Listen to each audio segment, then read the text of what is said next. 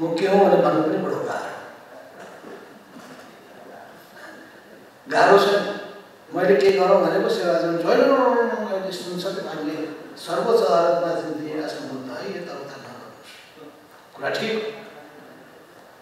भनेपछि त्यसपछि हामी भनिरहेका छौँ तपाईँले उठाउनु कुरा जेठ दुई गते के पो होला जेसुकै भए पनि